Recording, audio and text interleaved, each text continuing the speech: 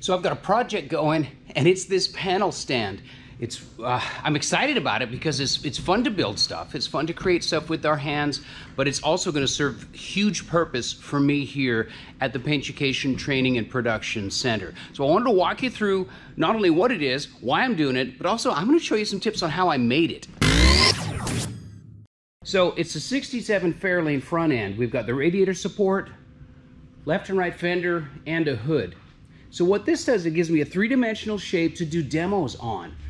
It's also a clue as to what one of my next videos is going to be. I'm going to do a course called Elite Surface Correction, and it's going to be um, how to polish to a high show car level. Now, I'm still a student of this discipline, but I do have my chops. I've been doing it for a long time, but it's a constant learning process, and it's fascinating. For instance, I can teach you how to sand and polish a flat area. Sure, that's easy. That's simple mechanics. That's talking about layers and, and just a process of refinement. But what about this? What about how to polish up against this area right here? What about to, having to polish inside those areas and where these coves are and creases are? And if you look at this, it comes like this. It's not a flat fender. There's a peak and a kind of a swell, a crown, and then another peak, and then down here, it's a really complex shape. And it takes a bit of strategy and some understanding of the materials and the process to get it right. So that's one of the courses coming up. Um, here's a clue.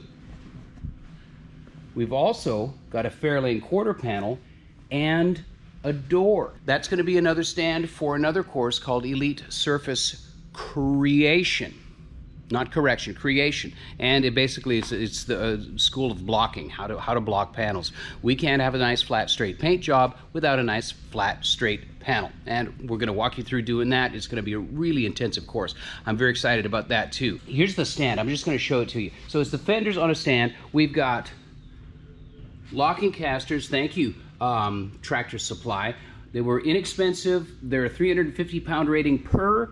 Uh, they're swivel casters. I've got two of them that lock and we can, uh, I, this thing will hold itself still on a hill. Now these things right here are interesting. Just this knuckle right here and the knob comes from a company called Astro Pneumatic. That's who makes this stand right here. They call this their super stand. It's really kind of neat. It's kind of a rotisserie. You can do, uh, it's got a little gear cog here, but these clamps, I really like them because you can position the mounting arms in a bunch of different positions and it really helped me um, make this stand to where my fenders and my panels are adjustable as I mount them. So it's really kind of cool to be able to use these. This is just square tubing. It's the same square tubing that I used for the big box construction. Pretty simple. Pretty straightforward. It doesn't have to be complicated. This stand in your shop will give you the opportunity to to spray your vehicle in chunks, but still as an assembly. Um, it, it's, it's really, really a nice convenience. For instance, if you've ever noticed a dry overspray line in behind panels, look here. On this stand, I can spray all of this back here, and I can get a nice wet edge in here and get a factory appearance on all of the crevices, including under here, inside the jambs, and under the hood with the hood still attached and spray the outside at the same time. What a time saver is that? This is interesting. This is why I wanted to kind of show you how I did it. So basically what I did is took measurements from the fenders and I transferred that to square tubing that I just bought from a local metal, metal supply. It wasn't very expensive. So my dimensions are 27 inches high, 50 inches wide, uh, 56 inches or 57 inches long, I think. And that gives me enough of a versatile stand to where I can mount any type of panel under it. Then I used my square tubing and these arms from the Astro stand, which incidentally you can go to astropneumatic.com. If you want to buy these exact things, um, you can either send an email to customer service or you can just reach out to them like I did, call their 800 number, say, hey, I want to buy some, some extra parts, and they'll sell them to you. And it's a reasonable price too. So that saved me from having to engineer something that um, that is already there on the market. So these things are really interesting. The square tube just goes through here There's a set screw here on a knob that adjusts and pinches, and then your square tubing gets held here. Of course, I handmade all of this stuff that mounts up to my specific panels, including my hinges on the back, which is a super simple device. I've got square tube here into a piece of round conduit and a larger piece of round conduit, a piece of flat plate, bolted into my uh, hinge location. I don't know if you can even see that. I'm just gonna let the camera sit there for a little bit, making me, it's, maybe it's gonna adjust. And so super simple, and I've got a functional hinge. And also the cool thing about this is that all of my panels are adjustable. So I can set my panel gaps, and if I'm spraying, I can set the gaps where everything's flush and level, and um, maybe it's not too wide. Well, this one, it needs a little bit of work because you could throw an angry cat through that gap right now. But anyway, it gives you the opportunity to set the vehicle up in the panel like it is oriented on the vehicle. Also, gives you backside access for places like this that happen. Now, this made me really sad. This fender was perfect, and it fell off. It fell off the stand. It fell off the stand. I'm okay. I'm fine now. But I was really sad when that happened because it bounced and it made a terrible noise and it made a big dent there. I massaged it a little bit, but ah, anyway, um, I got access to it from the backside. I can fix it.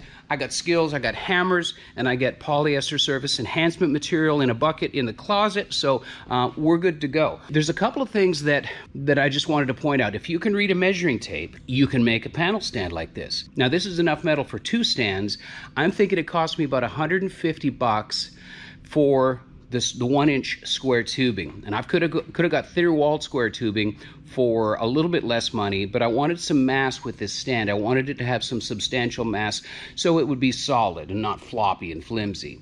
Uh, the the casters cost me $17 a piece so um, 70 bucks for the casters.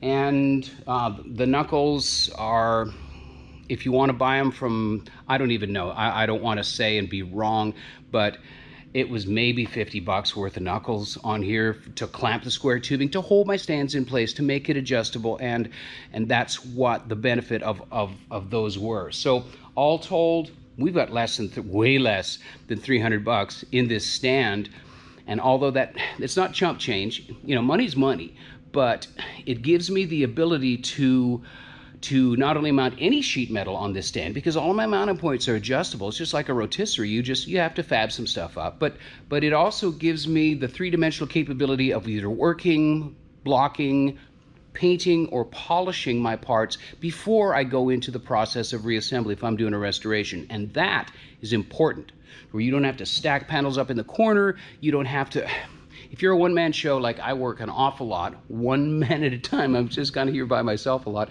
um, it, it matters, it helps. So uh, there's a couple of tools that made this really, really easy to, uh, to manufacture. Kincut drills. These things are freaking brilliant. Now, sizes in this index all the way up to half inch from like tiny, tiny, tiny, tiny, tiny. But if you notice, and if you look really closely, each of these drill ends is stepped. So there's step drills, even up to the half inch size. Look at the size of that. That's, that's a maybe about an eighth of an inch on the tip of that drill. So what does that do? It does two things.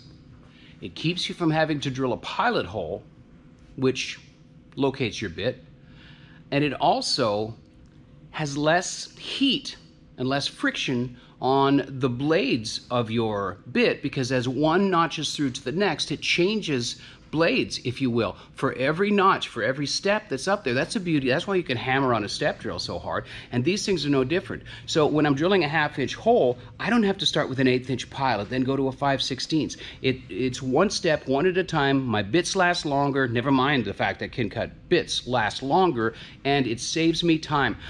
I'm a big believer in products that save me time, and it's worth um, it's worth whatever they cost because that's that's a brilliant design. So anyway, blah blah blah. Kincut, love it. Try them out. You'll love them too.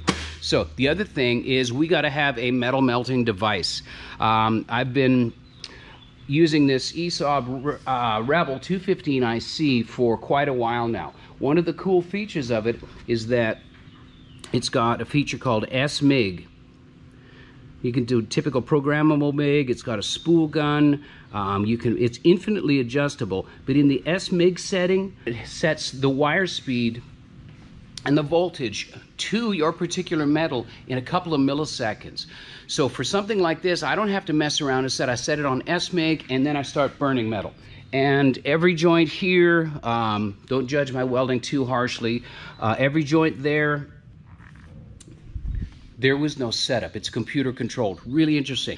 But with sheet metal, I still like to manually set my MIG um, because of the fact that sometimes in that millisecond that it takes to adjust and pull parameters back and forth, sometimes you can blow through with sheet metal, especially if it's particularly thin. So that's just my advice here. On a larger stock, larger thickness, um, the S-MIG works brilliant, but I still like manual control just for my, my own adjustability on, um, on uh, sheet metal.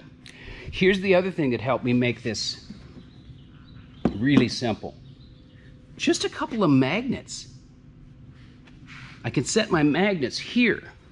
And now I've got a perfect 90 degree angle. And I set one on the other corner and it does the other way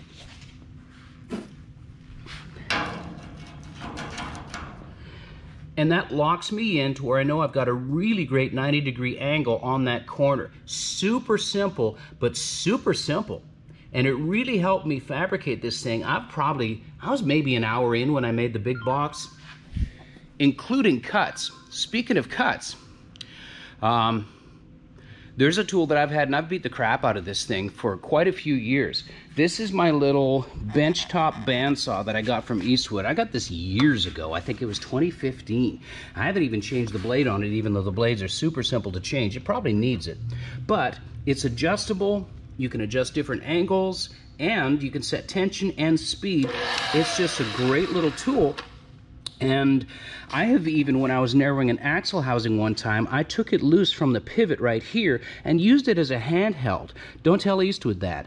But I used it as a handheld and it, it helped me get a cut to where I couldn't get the axle housing in here. And it really, really is a versatile, and, and again, I haven't really cared for it that well but it's been a workhorse for me. So um, between a couple of simple hand tools, a nice MIG welder, and some inexpensive uh, stuff that we can get just about anywhere, I've made my panel stand. So look forward to seeing this quite a bit more, especially if you enroll in the Paintucation training courses. You're going to see this stand. Um, I welcome you to hit my YouTube channel, meet me on the socials and um, let's discuss some cool shop stuff. Doesn't take a million bucks. It might take a couple hundred bucks, but it doesn't take a million bucks to have nice stuff in your shop. And it gives you tools in which to do fine craftsmanship. So thanks for watching this. I look forward to talking to you more. And uh, yeah, that's about it. See you soon.